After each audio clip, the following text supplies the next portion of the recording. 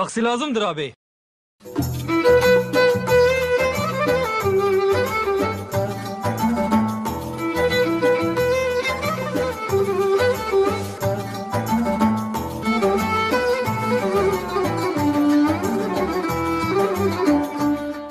Doğum yapan annelerimiz bebek taksimiz ile artık hastaneden evlerine ücretsiz olarak rahatça ulaşabilecek.